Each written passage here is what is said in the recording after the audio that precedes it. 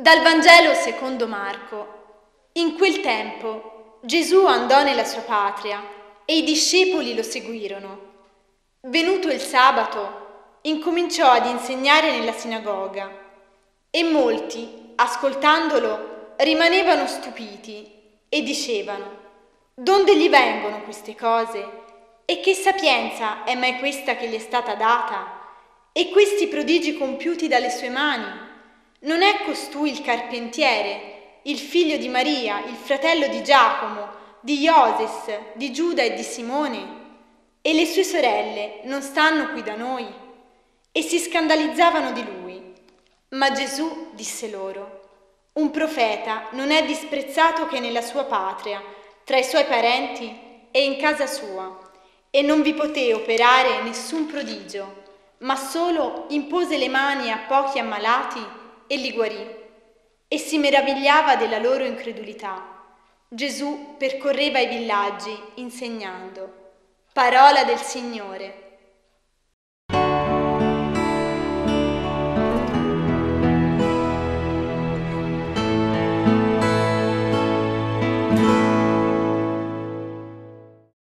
Amici telespettatori, la parola del Signore viene a consolarci. Nel nostro cammino terreno non ci scoraggiamo, che la vita è dura, la natura umana ci insidia continuamente, le tentazioni, le passioni, gli istinti, la cattiveria dentro di noi, quanto è forte, l'egoismo, le passioni umane, desideri terreni, siamo rovinati, siamo nati male, abbiamo dentro di noi tutto ciò che è umano e terreno, però c'è un Dio che mi ama, un Dio che perdona, un Dio che ci accetta come siamo. Quale amico abbiamo che se sapesse come siamo fatti ci accetterebbe come ci accetta Gesù? Gesù lo sa che siamo deboli e fragili, non si meraviglia se non si sbaglia, anche cose enormi delle volte ci scappano, delle cose che io questo non lo farei mai attenti anche a giudicare, non lo farei mai, chi l'ha detto?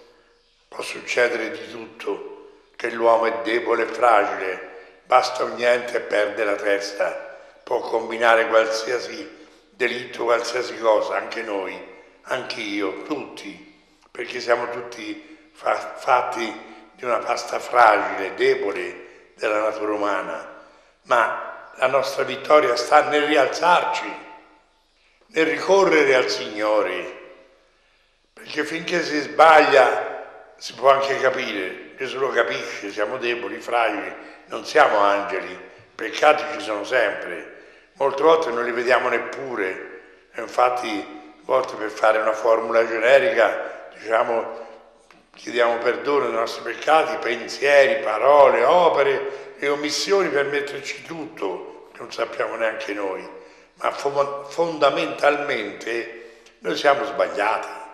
Abbiamo una natura umana che basta qualsiasi cosa, subito si organizza per fare il male, per allontanarci da Dio, per gli interessi umani, per l'egoismo umano. Nessuno è disposto a dare la vita per gli altri.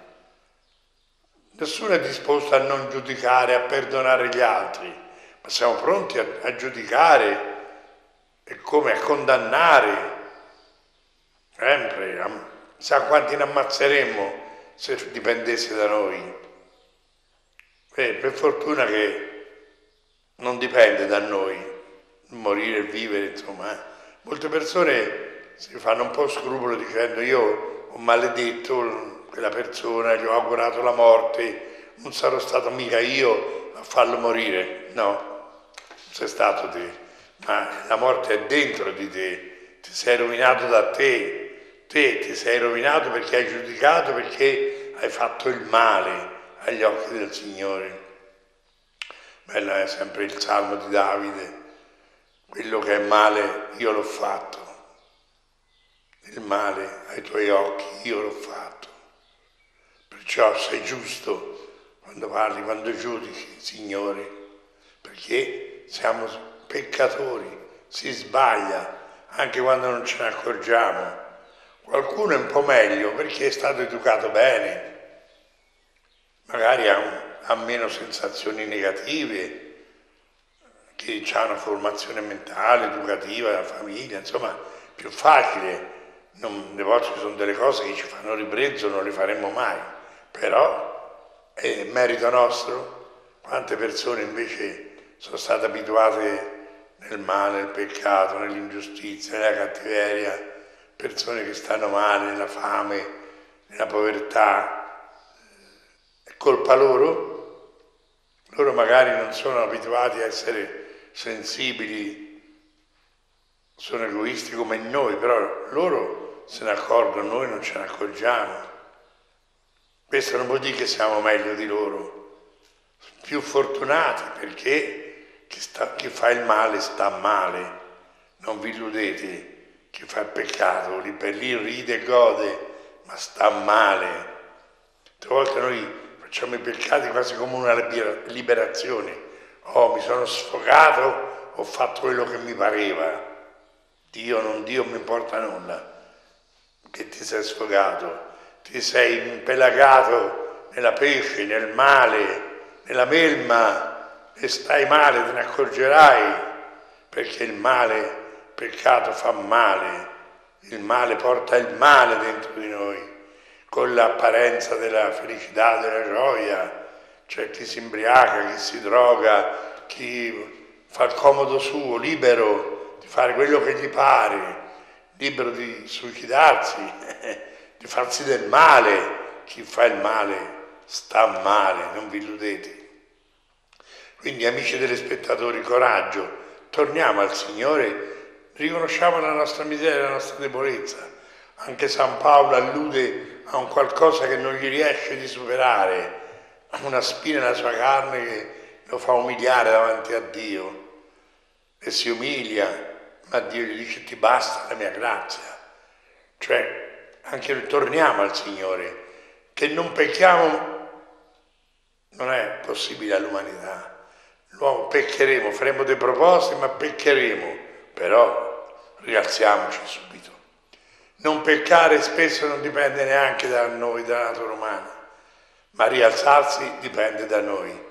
L'avere fiducia, l'abbandonarci a Dio dipende da noi, dall'amore che abbiamo verso il Signore, dalla fiducia che abbiamo verso il Signore. Siamo sfiduciati. Lo vediamo Gesù con i suoi compaesani, non riesce a convincerli dei suoi miracoli, dei suoi segni, perché non hanno fiducia in lui. Ma chi è? Non è il figlio di Maria, il figlio di quella buona donna, i parenti sono qui, non facciamo né niente, ma chi è? Come fa a insegnare queste cose così di Dio? Non hanno fiducia. Anche noi, tante volte, dinanzi agli avvenimenti umani, non abbiamo fiducia in Dio, sì Dio.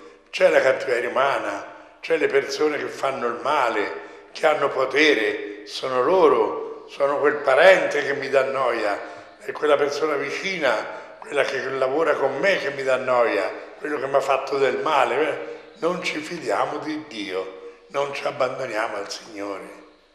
Ecco, rialziamoci subito, anche nelle nostre difficoltà, nelle nostre prove. Gesù lo sa che non siamo santi, però è da stolti non approfittare per tornare al Signore per farsi salvare dal Signore, farsi guarire, perdonare dal Signore. Eh, se non ci avessimo Dio, allora eh, il primo peccato saremmo già disgraziati per tutta l'eternità. Con Gesù, con la Chiesa, con i sacramenti. Molti dicono la Chiesa ha inventato qui, ha inventato là, ma non credo che la Chiesa abbia inventato proprio la confessione, i sacramenti che in genere anche i preti non vogliono fare perché dà noia, ma il Signore ha dato il perdono, ha dato l'amore attraverso le persone umane, non l'hanno inventato i preti, perché anche i preti noi ci, ci confessiamo anche noi, abbiamo bisogno anche noi del perdono di Dio, di tornare al Signore. Quindi fidiamoci di Dio, c'è questo strumento così buono. Noi eh, abbiamo altro che la guardia medica, è ho 118, eh, in due minuti arriva perché Dio è presente, basta un pensiero a Dio, una preghiera a Dio, chiedere perdono a Dio e poi le cose più importanti, ecco la confessione. È vero che i peccati sono sempre quelli, inutile, a meno che non c'è qualche caso particolare, la nostra miseria è quella, è sempre quella. Più si va avanti con gli anni, più i peccati sono sempre quelli. Però la confessione li cancella tutti, eh. ci pensate? Tutto quello che è stato fatto di male non esiste più. Non è per non esiste più. E tutto quello che il maligno, con i diavoli, è riuscito a farci peccare, anche lui deve ricominciare da capo perché la confessione gli ha cancellato tutto. Pensate, l'ultima confessione cancellerà completamente tutti i nostri peccati e pronti per il cielo, per la vita eterna. Che dono, che grazia. Ci viene attraverso la Chiesa, una Chiesa fatta di peccatori, di poveri uomini, però il capo è Cristo Gesù, non sono gli uomini, lo Spirito Santo è presente in mezzo a noi, è Lui che santifica.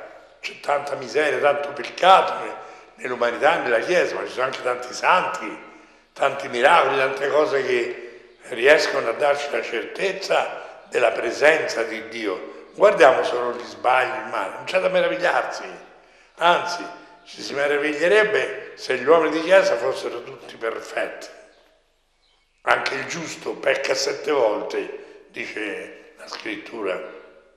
Quindi che noi pecchiamo eh, è normale, è che noi non, non chiediamo perdono, non ci lasciamo cancellare i peccati, non ci confessiamo, quello non è normale, è da matti. Avere il male, guarirlo e, e non cancellare, non guarire, non prendere la medicina. Poi si ritorna a peccare, va bene, però ogni confessione ci riporta allo stato iniziale nella pienezza della grazia e della gioia. Amici telespettatori, questa sì che è una bella parola, una bella notizia. Approfittiamone per salvarci e prepararci alla vita eterna.